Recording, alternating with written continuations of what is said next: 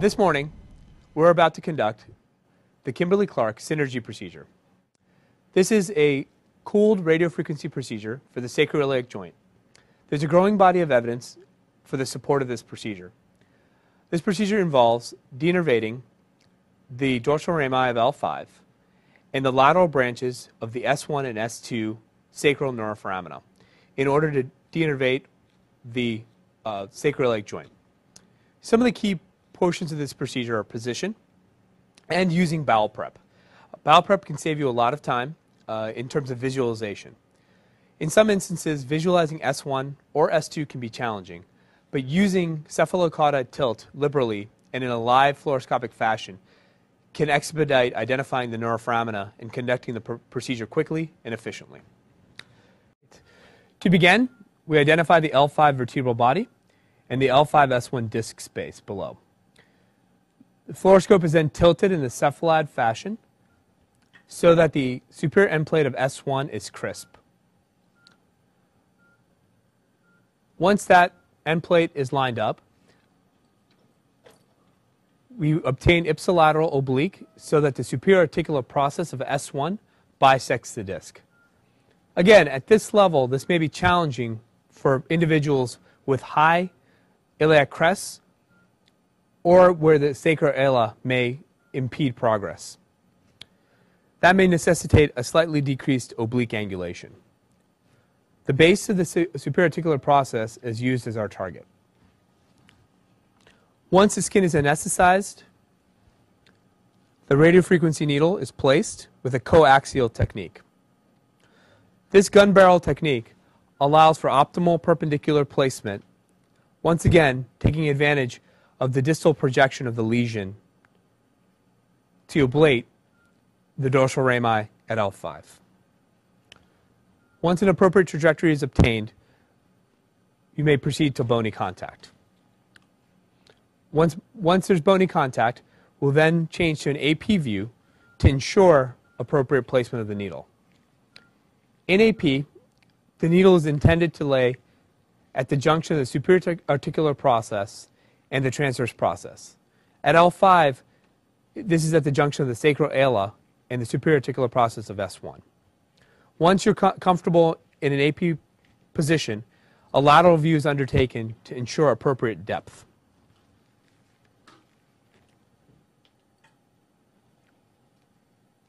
This appropriate depth will ensure that the lesion will not project into the neuroforamina. And in this view, the depth is, is, is of appropriate appropriate nature to conduct the lesion. The stylet is then removed and an anesthetic mixture is injected, after which the electrode is placed. 30 to 40 seconds, 30 to 30 seconds to a minute, excuse me, after the um, anesthetic is injected, the procedure may be conducted at this level. Typically, I perform the L5 level by itself and, which helps facilitate the use of the multi-cooled RF module at the S1 and S2 levels. Once the procedure is completed at L5, an anesthetic and steroid mixture is injected, and the needle and the, and the uh, electrodes are removed, or electrode is removed. We then turn our attention to S1 and S2. S2 is typically, excuse me, S1 is typically visualized with cephalad tilt. Once the neuroforamen is identified, the left lateral border is identified. The skin is anesthetized and a finder needle is placed into the neuroforamina.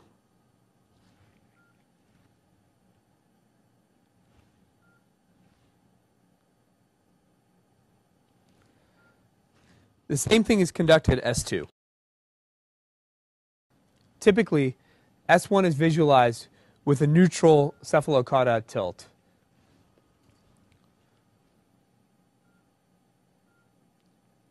Once again, the lateral border is identified, the skin is anesthetized, and a finder needle is placed at this level.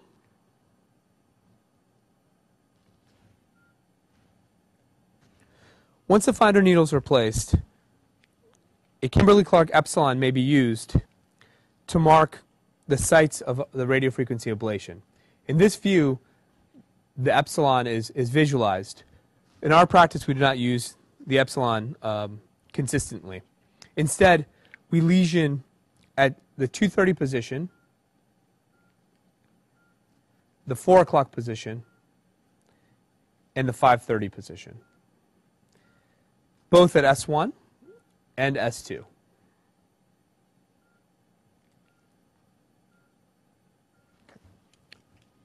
Typically, a single probe is placed first at S1,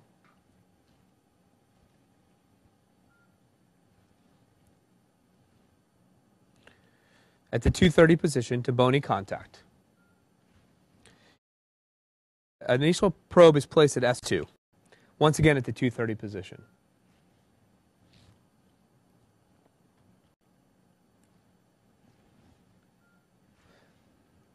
Once the probes are, once the needles are placed, the stylets are removed, an anesthetic mixture is injected, and the probes are placed. This allows for dual lesions, saving time.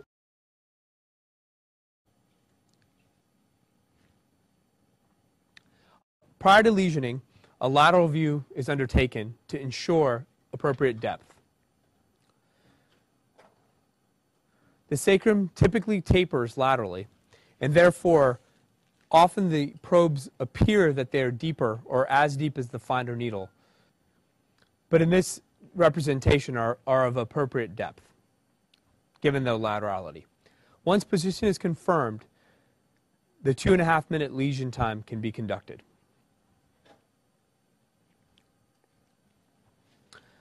Once the lesions are completed at the 230 position, the probes are removed and the stylets are replaced. The needles are then retracted to the, to the subcutaneous tissues and redirected to the 4 o'clock position.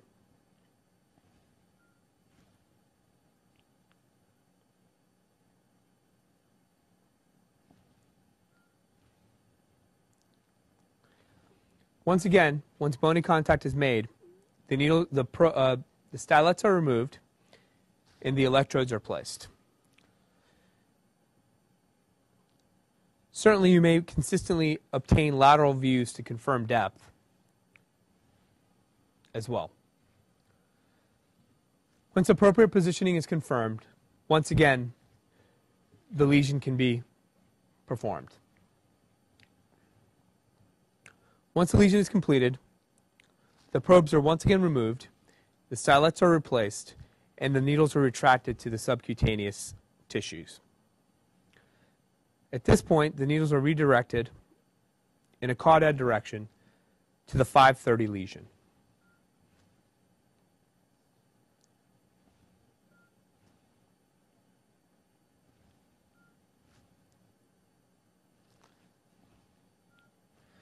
It's important to maintain a safe distance from the neuroforamina at all times.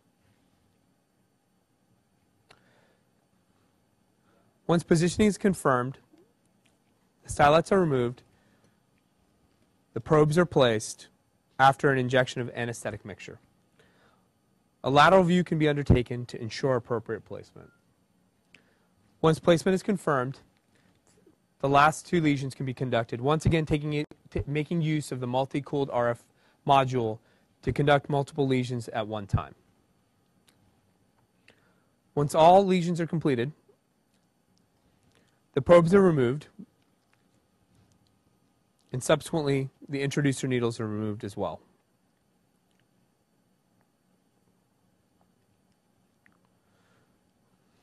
Finally, the finder needles are also removed. You've just seen us perform Kimberly Clark's SInergy procedure, a cooled radiofrequency procedure for sacroiliac joint dysfunction. This is a common condition seen in our practice following failed lumbar fusion surgery. This procedure accounts for the variability of both the course of the nerves, specifically the lateral branches, and the variability of the posterior surface of the sacrum. It uses an internally cooled probe with a distally projecting lesion that overlaps based on the, the placement of the needles to both cover those lateral branches and the variability